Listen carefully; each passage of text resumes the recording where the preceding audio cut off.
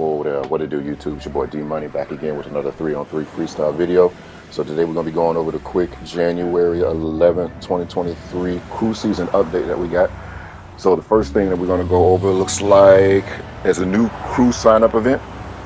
Now the only thing I'm not too sure about this one. So if you join a new crew, you basically get those three rewards at the bottom on February 8th, but I don't know if that applies to anybody who leaves a crew and then joins a crew.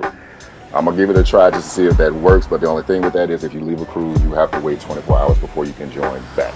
But might be worth it to try to see if you can get those items right there.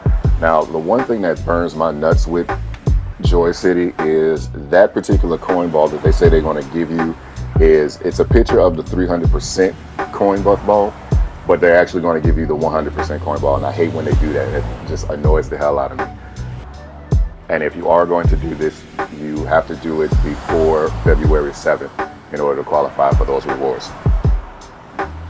Next thing it looks like they updated is they updated the the crew loot boxes that you get at the end of each crew season, which I think this is a lot better than what they usually give us.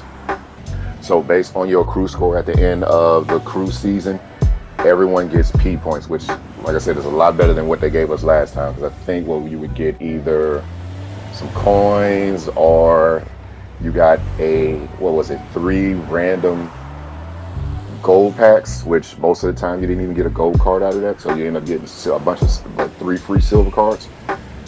And that was all based on where you individually ranked inside of your crew. So I think this is a lot better. The only thing is some people might not like about it is it benefits everybody. So if you have people that are in your crew that don't really play that much, they get those crew points too. But personally, I'd rather this than the other way around. All right, so it looks like the next one you get is anytime that you play with a friend or someone in your crew. And we'll go over this in the detail. So with this particular event, you don't necessarily have to play with anyone in the crew. As long as there's someone in your friend list, you can actually qualify for this as well. So as long as as a group, you play three matches. As long as in one you you drop 20, another game you drop 30, another game you drop 40. As a crew, it doesn't have to be individually, but you have to do this with a friend and or someone that's in your crew. So you won't qualify these if you're solo queuing. You have to have someone. You have to invite someone into your matches to qualify for these rewards here. You get three P three P buff tickets, which I actually need some of those. You get a gold pet kennel ticket, which I could care less about, and you get three random platinum card packs. Okay, and here's the play as a team, win as a team event. So like I said, as long as you're playing with someone that you invite, you don't it doesn't necessarily have to be anyone in your crew. It could be just someone that you're friends with, and y'all be in different crews, and you still qualify for these rewards. So long as someone, as long as you drop 20 in one game, 30 in another game, 40 in another game. That doesn't mean you have you solely have to drop 20 as a crew.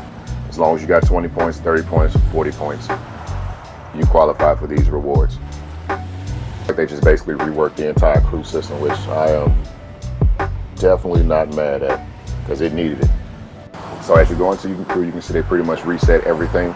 You look at everyone's crew rankings.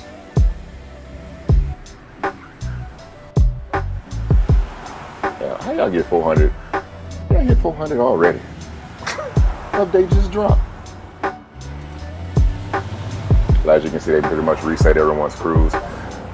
They made some changes to the token shop, which it definitely needed. So as far as the intensive manual, intensive notes, those are still there. Which, honestly, if you're playing as a crew, this these two should be priority always. Because this is how you get your P5, your P5 and your P6 characters. So these should always be priority number one.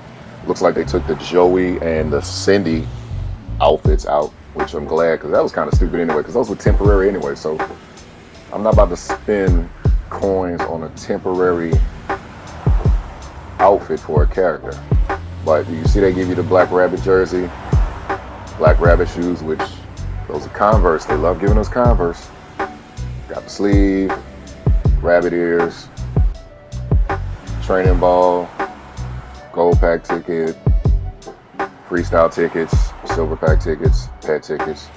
Only downside, these are going to be temporary, so it's possible that hopefully they just swap them out with something else. I don't know what they can swap them out with, but as you can see, you won't keep, you won't get these for long. But I say if they keep these, that'll be okay. for now at least. And as for the crew quests, these are your missions.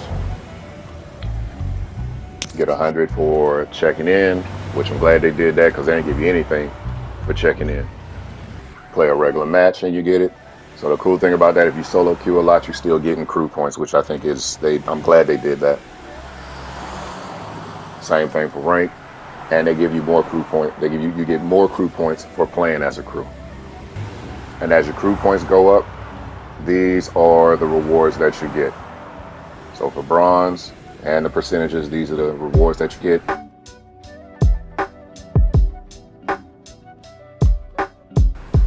Silver.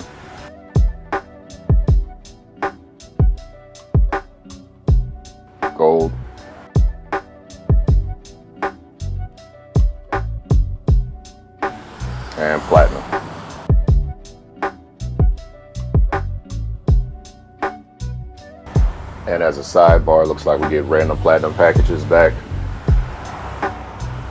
ADP gives you the random platinum pack with five platinum cards and a coin ball. 149p gives you 10 randoms with five skill balls and five intensive notes. They also brought the special platinum card sale, dropping the 10 pack 20% off. 30 for one, 264 for a 10 pack.